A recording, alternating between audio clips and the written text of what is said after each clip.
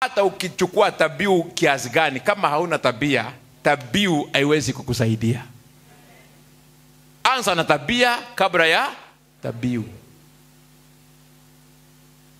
Sasa wewe unajua mwenyewe uko na uko na bwana ya mtu na uko na tabiu itakusaidia nini? Ambia neighbor tabia kabla ya tabiu. hata yesu alisema ukiwa unakwenda kutoa tabiu yako kwa madhabahu ukakumbuka mumekosana na mtu. Weka dhabihu yako kwa madhabahu urudi. Mkubaliane naye uje ukaitoe. Hasa wewe unaitoa huku unajua ndani yako iko chuki kuna mtu hautamsalimia. Hey, tabia kabla ya dhabihu. Unatolea mke wako dhabihu arudi lakini huku unajua kile alichokuwa anakuuliza ni cha kweli. Wewe umelala na sista yake umelala na meidi na leo umelala na mwalimu mnafundisha na yeye shuleni umeenda kwa hoteli umechukua kashana ka hoteli. Ebintu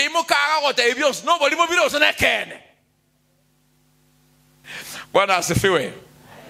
Haleluya inua mikono hivi kabisa nimewakosea kama nimewakosea. Jo kuna mahali ukweli unaumanga. Bwana yesu asifiwe. Haleluya sikia watu wengi wanazingatia kutoa dhabihu badala ya kutengeneza dhabia.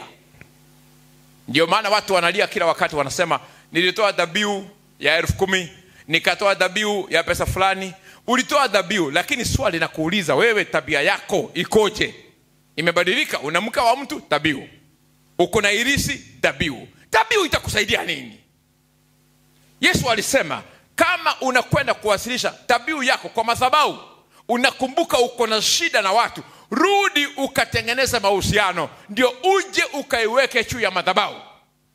Wewe unawasilisha dhabihu juu ya madhabahu huku unajua tabia yako iko na kasoro. Mimi nakushauri kama mchungaji anza na kubadilisha tabia kabla ya kutoa dhabihu. Na simunipigie makofi kwa hiyo point